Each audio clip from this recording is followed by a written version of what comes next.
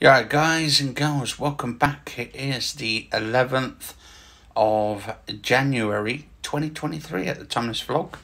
Anyway, I am using my key light at the moment. Just got the key light over this side. So I'll be back in a second, guys and girls. I'm going to try something for you guys and girls in a second. Wait for it. I'm back! Hello, guys and girls, and welcome back with my new, my new, new video for 2023. Welcome, happy 11th of January. It is me, the good old Joker.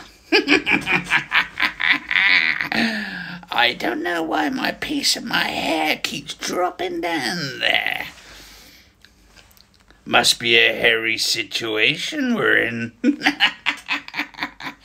anyway, so I'm testing out my wig I bought ages ago. Uh, it looks fantastic. So yes, I was thinking of actually doing something special. Actually, few few special videos for this year, but uh, we're gonna have to see anyway. I've got to work out a few things, like get my internet up together because the internet I've got at the moment is like going back to the nineteen nineties when we didn't have the internet as much or it was limited to certain people like business people and all that. So, uh, well, never mind.